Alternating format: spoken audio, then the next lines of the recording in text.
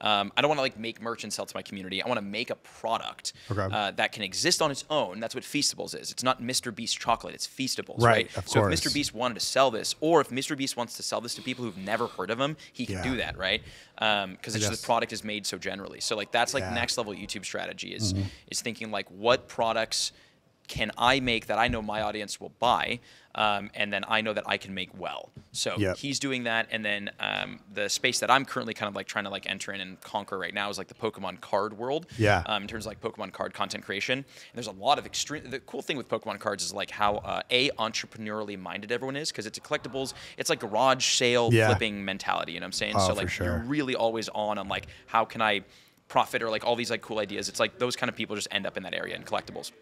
So the cool thing is a lot of these big TCG YouTubers have these like super intricate businesses or they have like these really awesome products. Like Oh, yeah. Pokerev, who's like the number one, has these really, really good mystery packs.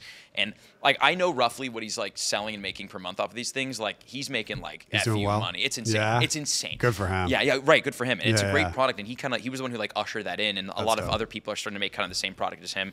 Um, Ando Unlisted Leaf, he's like another major Pokemon TCG person. All the Um, Pikachu's in the back. all the Pikachu's in the back, right? he uh, he he partly owns a vending machine company that's Really? that's just spreading like wildfire across Australia right now, where it's like a Pokemon card vending machine. And you know, he's got his face and his QR code to his channel on the side of the vending machine. He's got his own mystery packs, his own branded packs inside the In machine. the, wow. So you know, good for him. right? You're starting to see this a lot more across YouTubers who are like cool. kind of like really on the forefront of it, of like how can I make products that my community and audience can enjoy, right? Yeah.